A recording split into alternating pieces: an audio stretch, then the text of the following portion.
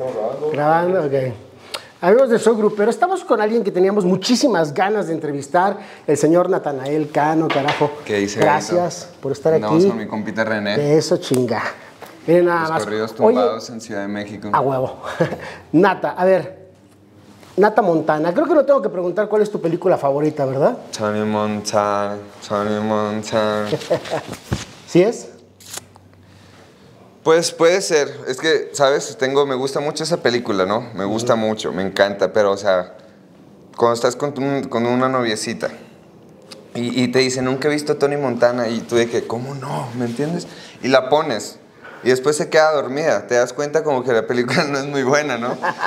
No, bueno, a ella les tendrías, si estás con una novicita, le tendrías que poner, este, Sí, otra cómo perder un hombre ¿no? en 10 días, o, o no sé, alguna de, una comedia romántica para... ¿Cómo se llama esta de los lobos?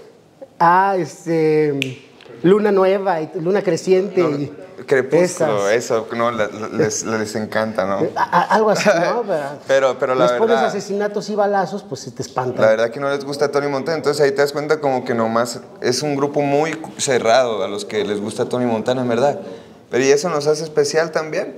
Pero aparte tú no habías nacido. Yo no había nacido. O sea, eran los 70 cuando, cuando Tony Montana la Al Pacino reventaba, en cuando El Al Pacino. Padrino. Y el padrino estaban a todos, Scarface también, o sea. Oh my God, bro. De hecho, tengo un corrido de Tony Montana que iba en el disco, pero no entró. No entró porque lo hice y lo dejé a la mitad del corrido. Buenísimo. Va a salir en Nata Montana Deluxe. Pero entonces lo dejé a la mitad. Y dije, me voy a ver la película y escribo la otra mitad. Para meterle como unas frases de ahí. Y me quedé dormido, bro. Entonces ya nunca hice la segunda parte. Ya nunca hicimos la segunda parte del corrido. Literal se llegó la fecha de entregar el álbum. Tenía todo menos el, el principal.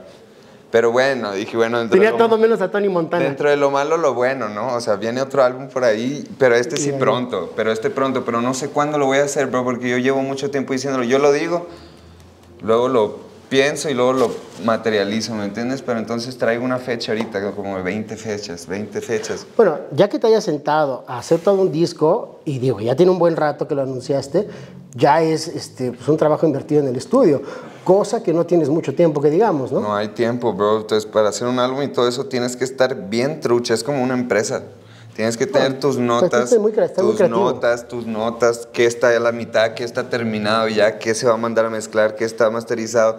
Entonces, cuando tú no tienes esas notas organizadas, todo organizado, uff, se vuelve... O- oye, y, y me llama la atención lo de Tony Montana, porque vi, por ejemplo, en un concierto de Peso Pluma, que es también parte de su intro, no sé si ustedes en algún momento convergieron en eso, o, o- o tú lo hacías antes, o que ahí desconozco. Este, ¿Qué eh, pasó yo ahí? desconozco, desconozco, pero cuando vi a Mike, Tys- Mike Tyson decir como, Tony, Tony, ¿por qué te tiraste mis sabes? Y que sabe que, como que yo lo identifiqué mucho conmigo, ¿sabes? Y yo dije, algo hay ahí, porque Peso, Peso es mi admirador, yo soy su admirador 100%.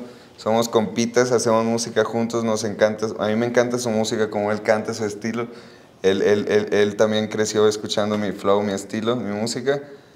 Estamos bien conectados, entonces yo también me pongo a pensar en, ahí como que este güey lo hizo adrede, ¿me entiendes? Como que Tony, güey, me está hablando a mí, güey, ¿me entiendes? O sea, ni se pusieron de acuerdo ni se copiaron. Fue No, no, no, y él usa mucho Tony Montana también, pero, pero, pero, pero pues todo, yo lo usé primero, ¿me entiendes? Pero, pero ni al caso, o sea, está bien, úsalo, pues, ¿me entiendes? Pero tú, tú, tú eres Spider-Man, yo soy Tony Montana. cada quien tiene su superhéroe. el Peter Parker dice que es Ya. el beso, está bien. ¿Te vas a mandar a hacer también tu Tony Montana de diamantes aquí Uy, entonces? ya lo estaba, ya estaba visto eso, nomás que hay que ahorrar, yo me acabo de comprar un Porsche ahí GT3 911. Ah.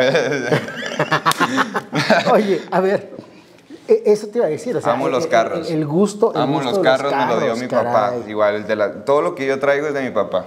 Las motos, me quebré la pierna, tuve un accidente hace seis ¿Cómo meses, esa siete. pierna? Muy bien. Que ahí te veíamos bailando de todos modos con Mejor que antes, bro. O sea, yo estaba mal, mal, mal. O sea, mi pierna está quebrada a mitad, ya no quiero hablar de eso, estoy bien. No soy deportista, claramente, no puedo ser deportista, pero tal vez, ¿me entienden? Me dieron un año como para que mi pie fuera el de antes, pero nunca va a ser el de antes. Pero sí me dieron un año de rehabilitación, bro. Llevo seis meses, Todavía te falta. seis meses. Y Deja las motos. Entonces, pero sí, las motos me lo pegó mi papá, que le era motos, moto, moto, moto, y, y- y también crecí yo como toda mi infancia, de- desde el un año hasta los 10, 11, mi papá fue mecánico, tenía su taller de mecánica general. Entonces era como siempre salía de la escuela, me iba al taller y era estar en los carros, estar en los carros, ver los carros y así. Y ya sin querer queriendo, y ahorita digo, bueno, me encantan los carros, tengo un chingo de carros ahí, gasto todo mi dinero en carros. Ya como que empecé, mi papá tiene la culpa, ¿me entiendes? Oye, pero es que de eso se trata la música también y de eso se trata lo aspiracional del, del corrido tumbado. Los carros, las fiestas, la fumada, las Y mujeres. es que si no te gastas el dinero, luego no tienes ánimos para seguir haciendo más, ¿me entiendes? Tienes que disfrutarlo. Entonces tienes el dinero ahí guardado y te sientes como el más rico del mundo, pero, pero gástalo para que te sientas que No, tienes que aparte hacer más. hay que darle la vuelta al Hay que dinero, darle, hay que hacerlo darle. circular. O sea, sí tienes tus ahorros, pero también Sí, te das me gusta tus, tener tus buenos. tus ahorros, me ¿no? encanta tener mis ahorros y me gusta gastar el dinero también porque me motiva a trabajar. Cuando no gasto dinero, no me motivo a trabajar, no sé. Sé, sé- sé que estás muy chavo, pero pensar en los 50, 60, retirado, no retirado, siguiendo cantando. Ok, pues mira, una tus persona ahorros. no ocupa tanto dinero para vivir, ¿sabes? Entonces, yo creo que en cinco años, en cuatro años, en tres, tal vez yo ya no quiera gastar el dinero. Ah, huevo. Pero, pero entonces, ahorita ganamos bastante dinero, más, más para lo que se ocupa vivir. Y, y- y estoy agradecido con eso, ¿me entiendes? Entonces, pero yo sí estoy de acuerdo como que no ocupas tanto para ser feliz. Por ahí escuchaba a Jorge Medina. ¿Ubicas a Jorge Medina? Jorge Medina, sí. ex vocalista Sí, de la arrolladora. sí. Decía, les voy a dar un consejo a Nata, a Junior, que me gusta su música y todos, que nadie les dice cuando tienen 20 años. La fiesta es bien padre, pero todo el mundo dice que no pasa, pero sí pasa. Al rato te va a cobrar la factura el cuerpo, el bolsillo, eh, te rodeas de un montón de amigos, amigos. Sabes, ¿Qué opinas ahí? es mi Yo pelea creo que ya te ha pasado, No, ¿verdad? Esa es mi pelea también con los papás. O sea, los papás también tienen que gastar dinero ahí de antro todos los días que vas, te metes, pu, pu, pu, se asustan también, ¿me entiendes? O sea, en su vida vieron 100 mil pesos, 200 mil pesos y que tú te los gastes en un antro con gente que, que ni al caso. No, pues yo Este, Está tampoco. difícil, pero, pero ahí voy, no, no es todos los días, pues sí es válido hacerlo, ¿no? Es válido hacerlo porque uno lo disfruta y, y- y está dentro de las capacidades todavía, ¿no? Entonces, mientras esté dentro de las capacidades, se hace. Igual, yo soy una persona que, que, no, que no tenía nada ni nada, por eso mismo no gasto mucho, pero sí me doy mis Pero hemos visto un cambio en Natanael, del Natanael de hace cuatro años, que ha vivido muy rápido. Y así como le llegó el éxito rápido, porque tú desde los 13 ya le pegabas a la lira, este, y por eso lo digo entre comillas, Dios me dio una segunda oportunidad, bro. también maduraste rápido, porque de repente, una segunda oportunidad, la verdad, ahorita te digo por qué. cuando el éxito te llega de madrazo, te pierdes de repente. Es muy fácil perderse. Y ahorita vemos un Natanael más centrado, más aterrizado, dando entrevistas, que luego muchas veces, yo sé que ustedes que salieron de las redes, los medios, pues de repente es como de, ay, me van a estar preguntando de este chisme de esta cosa. no les Sí, gusta. fíjate, nosotros sí somos, bueno, yo, yo sí me peleo con Romina siempre, o con mi manager, como que, como que les digo como que, que, que- que yo, yo, por ejemplo, soy, era internet. Ajá. No les gusta la tele. no me No gusta les la gusta, tele. Sí. Entonces, le digo a los players, no, no, hay que hacerlo en internet todo, nadie ocupa tele ya. Estamos asombrados de estas entrevistas. pero, bro, pero sí, me encanta, me encanta, me encanta Ya estar te- aquí, era, me gusta. me Ya, ya digamos que sí hemos madurado en estos 3, 4 años. Madurado, madurado, pero en el buen sentido, ¿no? Como madurado personalmente, yo sin tratar de, de- de- de- de que ellos piensen algo diferente de mí, pero que yo no lo estoy llevando a cabo realmente. Pues no, siempre lo que llevo a cabo y lo que te enseño a ti, lo que ves, es lo que hay, lo que aprendí, lo que soy, ¿me entiendes? Va. Una última pregunta. Escuché en tu entrevista que hiciste para GQ, la de tus procesos, que dices que el 80% de las personas solamente escuchan lo que está de moda, no lo que realmente les gusta. ¿Crees que así van las canciones? ¿Un mes, dos meses, bye? Qué triste, ¿verdad? Es el Somos internet artistas también, reciclados. el TikTok. Somos artistas reciclables, la verdad, pero pues, eh, ya llevo cuatro o cinco años en esto. Vamos por otros cinco.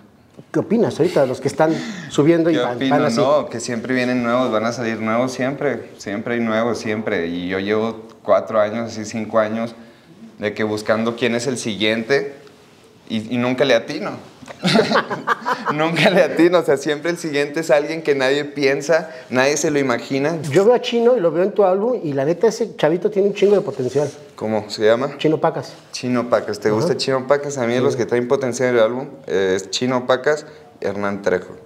Bueno, Gabito Ballesteros ni Gabito se diga. ni se diga, ya. No, o sea, ya se Ya fue. está, no, ¿no? cuenta, ¿no? Sí. Pero sí, eh, eh, Hernán Trejo y Chinito Pacas vienen. Chinito está bien, cabrón. Lástima que no puede salir de Estados Unidos todavía. Pero bueno, ya nos vamos porque nos están correteando. Nata, un gustazo platicar contigo, de verdad. Aunque sea de carrerita, soy grupero, siempre las puertas abiertas. Pendientes, Vamos a ahí. tener un pendientes, evento ahí. Se quedó pendientes el por qué Dios me dio una segunda oportunidad.